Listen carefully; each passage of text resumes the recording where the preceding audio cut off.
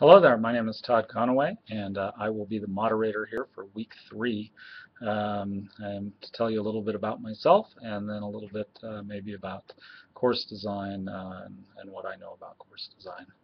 Um, so my name is Todd Conaway, and I work with teachers in a small community college in the middle of Arizona.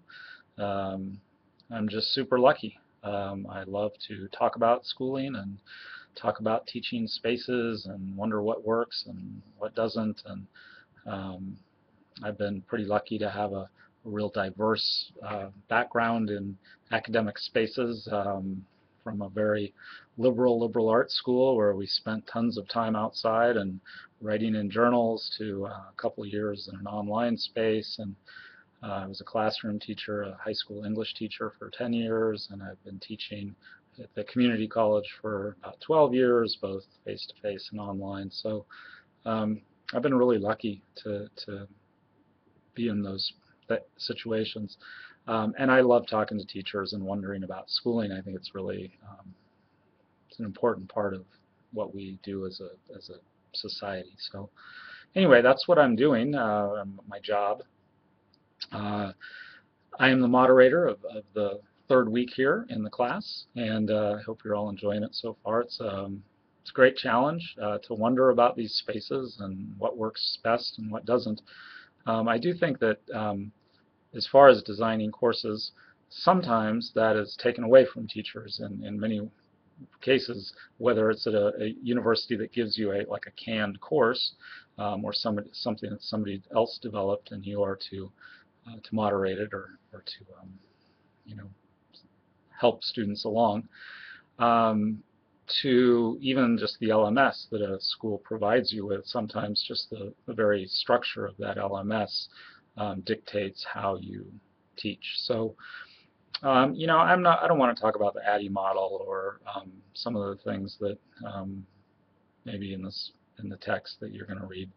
Um, I would like to say that course design certainly should um, be something that, that that fits the, the users and the need and the purpose.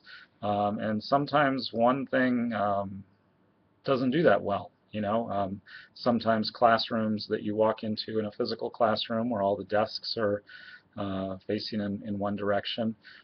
You know, if your teaching style is one more of group, small group work, uh, right there, you know, you, there's a that's a huge dilemma for for a teacher to walk into. Hopefully, they've done some reconnaissance and and figured these things out beforehand. But that's not unlike um, web spaces that um, when it, when you're designing a space, if you're able to do that, um, you know, some of those things are pre predictated by by institutions, and and that's a challenge.